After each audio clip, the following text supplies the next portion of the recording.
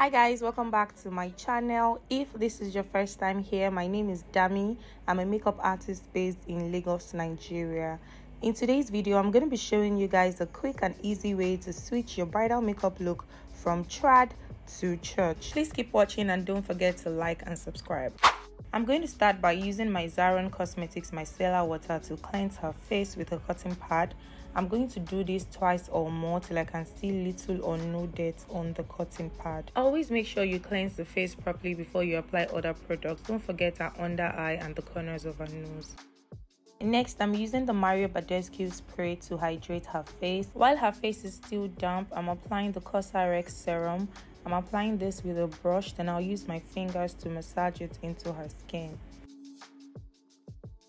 When you're prepping the skin, it's important that you allow the skin absorb one product before going in with the next. So I'm going to use a fan to speed up the drying process. Next, I'm applying the Embryolisse moisturizer. I'm using a brush to glide the moisturizer on the skin, then I'll use my fingers to massage it into her skin.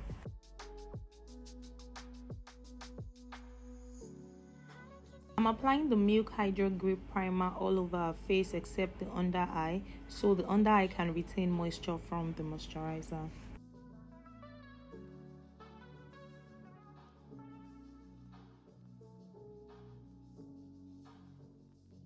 I'm using the Becca primer to mattify her eyebrows and her T-zone. I'm using the airbrush setting spray to lock all that skin prep in. For foundation, I mixed these two V Beauty foundations. I'm tapping the foundation into her skin with a fluffy brush. This model doesn't have an even skin tone. Her face is lighter than her neck and her chest area is lighter than her neck and her face. So I'm going to match the foundation with her neck and I'm going to match the concealer for a highlight with her chest area so that there's a balance. I'm spraying the foundation with the Milk Makeup Spray then I'm going to go in with a damp beauty blender to further blend in the foundation. Spraying your foundation before blending gives that skin-like feel. It's really nice. You should try it if you don't do this. For concealer, I'm using the Kevin Concealer. I think this is shade 12. I'm applying it on the inner corner of her under eye, the outer corner of her eyes to give her face a lift and on her T-zone.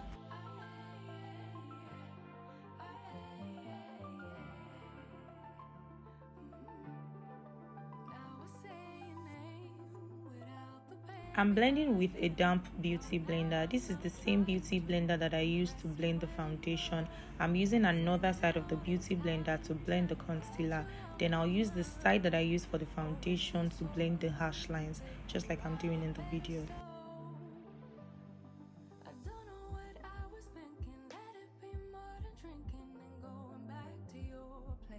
For the under eye, I like to blend from the outer corner to the inner corner because I want more coverage in the inner corner of my eyes. And I'm just patting with a light hand. I'm just, I'm not swiping. I'm just gently patting with a light hand. I repeat the same thing on the other side.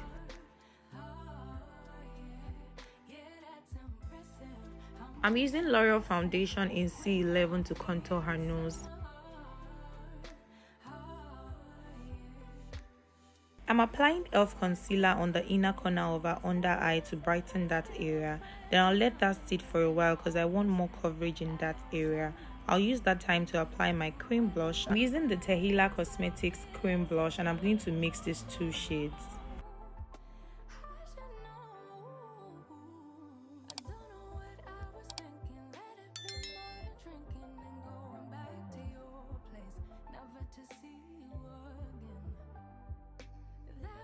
I'm using the side of the beauty blender I used for the foundation to blend out all the harsh lines.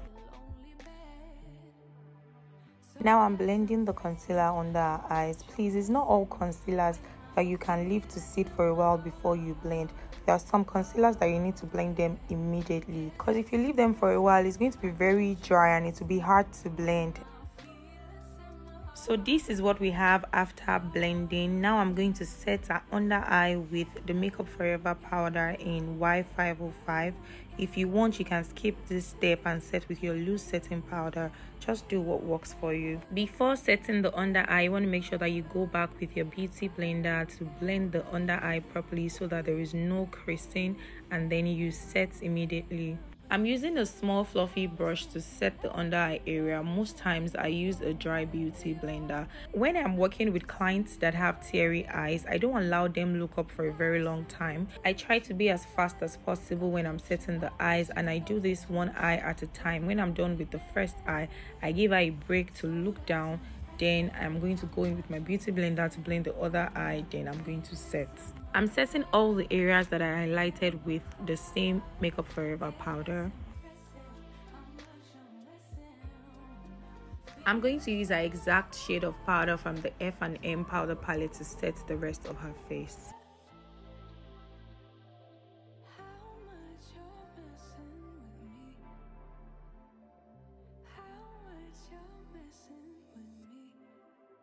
I'm using a dark shade from the same palette to contour her nose.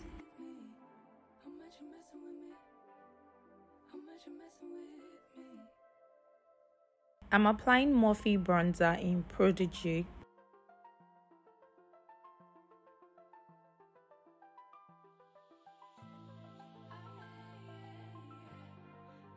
Now I'm going to sculpt her nose and bake her face with the Merak powder in cinnamon and Beauty by AD setting powder in beige. I mixed these two setting powders together.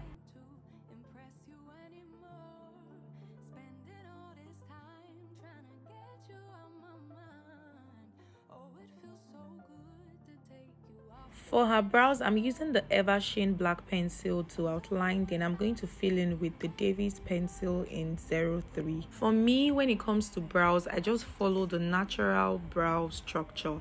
I don't overline. I just follow the natural brow. That's why I don't have one type of brow for all clients. I draw according to the client's natural eyebrow structure. Except the client asks me to do otherwise. Now i'm using the davies pencil in 03 to create hair-like strokes.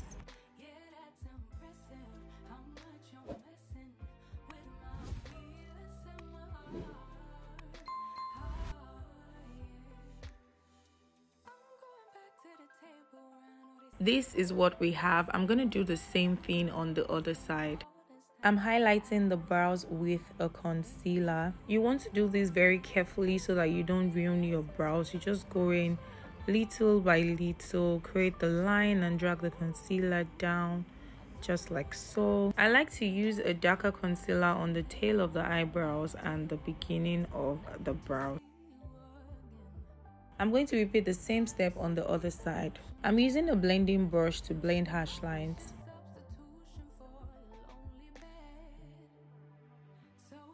So this is what we have. Now we're going to move to eyeshadow. For the eyeshadow i'm using the p. Louise eyeshadow base. I'm using a brush to apply the base and i'll blend in properly. So i decided to do a matte eyeshadow for the first look. And for matte eyeshadows you need to get your base right. And you need to blend your base properly so that your eyeshadow does not crack I'm using this shade from the F&M powder palette as my first transition color. So remember that we're switching up the look from engagement to the white wedding or the nikkah. Now it's easier for you to switch from white wedding makeup to engagement makeup that's like switching from day makeup to night makeup because usually the um, engagement makeup is heavier than the white wedding makeup or the nikkah. most people would show you how to switch from the white wedding makeup to the engagement makeup but in reality the engagement comes first. I think it's like a nigerian thing.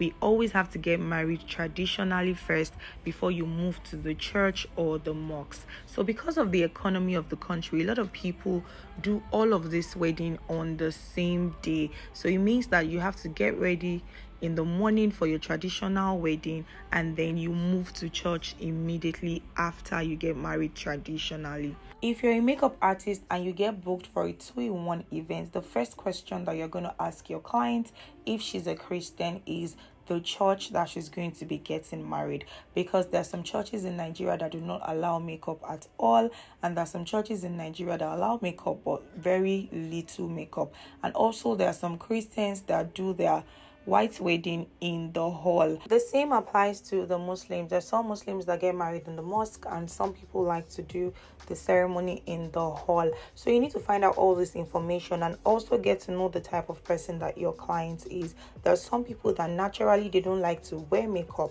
So when you get a client like that, you want to be as subtle as possible with her bridal makeup so that she doesn't feel weird on her big day. Usually, you don't get enough time to switch between the traditional look and the white wedding look. This is because, of course, you know that the hairstylist also has to come in to do her hair and everything while she's trying to dress up for church and the rush is always a lot. So for me i just like to play safe from the beginning. If her church or her mosque doesn't allow heavy makeup i'm not going to work with pigments or glitters for the engagement. I'm just going to do something nude on the eyes and do like a very bold lips. And when she's going to church i'm just going to switch the lips to nude. But if she's getting married in a church that doesn't mind i can work with pigments or glitters for the traditional wedding you know she can even take the same makeup to church because the truth is that most times we might not even change the look from the engagement to the white wedding. We might just touch up and then the bride is on her way because like i said the rush is always a loss there might not even be time for any of these things so I'm using this nude shade from the Huda Beauty palette as my main color. When you're working with eyeshadow, the trick is for you to use the right brushes and know how to blend properly. A good technique to remember when applying matte eyeshadow is that you should pat the product on the eyelid. Don't use sweeping motion. Patting the eyeshadow on the lid helps ensure an even, smooth and pigmented distribution. So I'm just adding more black to the outer corner of her eyes because I want the black to be very obvious in that area. I'm setting her brow bone with the orange eyeshadow in the Huda Beauty palette. So I used a concealer and a small brush to create this sharp line to give her face a lift. Now I'm just setting the concealer with a powder.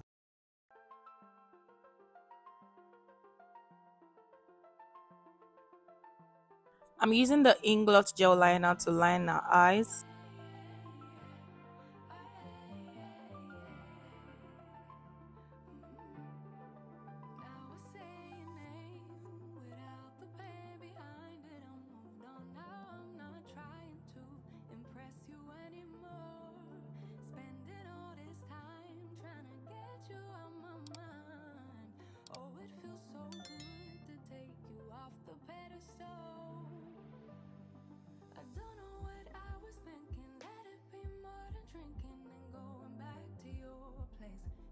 I'm using MAC powder in dark as my finishing powder. I'm applying this on all the areas that I highlighted.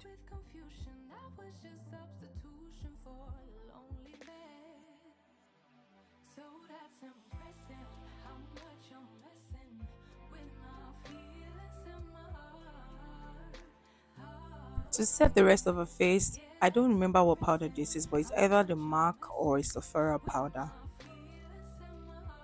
I'm using the milk setting spray to set her face. I'm just using this palette to cover the eyeshadow because I don't want the setting spray to touch the eyeshadow. I'm using a beauty blender to gently press the setting spray into her skin.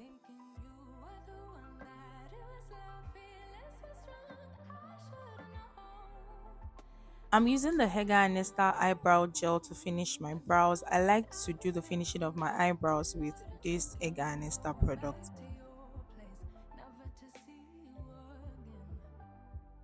I'm moisturizing her lips with Vaseline Lip Therapy. I'm lining her lips with the Anesta Brow Gel. I'm using the same one that I used for the finishing of her eyebrows. I'm using the brush to blend as I'm applying because this is a brow gel. You have to blend immediately so that it doesn't dry up. If it dries, it's going to be hard to blend. Next, I'm applying the Imagic Lip Palette. I'm going to be mixing these two shades. Make sure that you blend the colors properly the same way you blend your eyeshadow very well it's the same way that you blend your lips properly so that there is no harsh lines. So this is what we have. Now i'm just applying mascara and i'm going to fix her false lashes off camera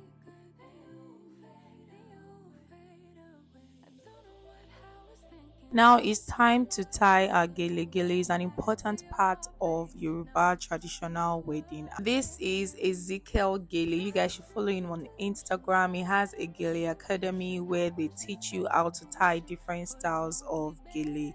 He's my boss, so people should follow him and tell him that I sent you so that he's going to give you a discount. I can't show you guys all the process of the gele because most times these people stand in front of the bride to tie and they're always covering the camera. So i can't be showing you their back. Obviously i just keep the steps. Maybe i'll bring ezekiel on this channel to give us a detailed tutorial of at least one style of gele. Ezekiel if you are watching this video we're coming for you. You come and teach us how to tie gele on this channel. So you guys should let me know in the comment section if you're interested in a gele tutorial. Maybe i can force my boss to come and teach us so but please follow him on instagram i'll leave the link to his page in the description i'll leave the link to my instagram page in the description as well follow us on instagram book us so for your Owambe, for your weddings, for any ceremony. We are available home and abroad. Please book us. Thanks.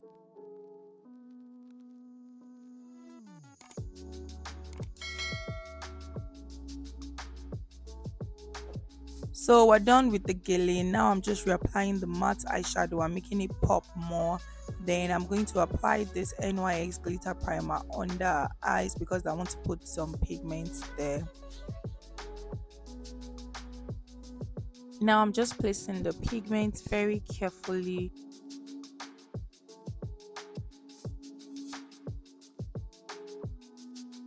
next i'm spraying her face with the airbrush setting spray i'm applying classic clear gloss on her lips I'm using Wynkk Beauty mascara to brush out her lower lashes. Next, I'm using the Soopro Seal It spray. This spray is a TikTok spray. Every time I bring out this spray, my clients will say, Oh, is it not that TikTok spray? Amazing product. So, this is the final look for the engagement. This model is so pretty.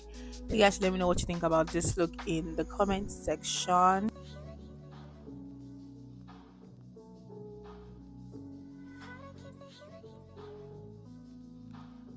So it's time to switch up the look. We're assuming that the engagement is over and it's time to prepare her for church. So the hairstylist is going to take out the gele, which is such a relief for the bride, and she's going to style her hair while I touch up the makeup. The hairstylist is AY, AY the Week stylist on Instagram and TikTok. I'm going to leave the link to our Instagram page in the description.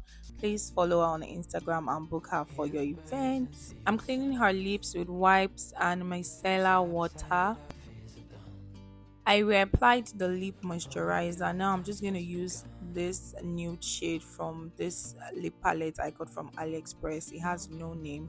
I'm just going to apply that shade all over her lips. So when I'm working with a bride for a two-in-one event, I like to change her lips first so that in case there is not enough time to change the eyes, she can still go to church like this because I tell you, the rush for a two-in-one event is no joke. So you have to work hand in hand with the hairstylist. You don't have to wait for her to finish the hair before you change the makeup because remember that she's also going to take pictures before going to church. Now I'm lining her lips with the dark brown shade in the Imagic lip palette.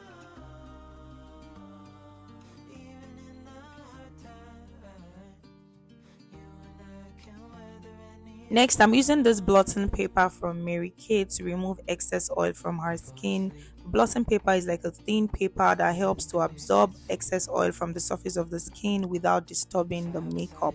So I'm just going to press this on her skin to remove oil. I also like to use this to remove excess oil from the eyebrows as well. Now I'm adding more black to the outer corner of her eyes.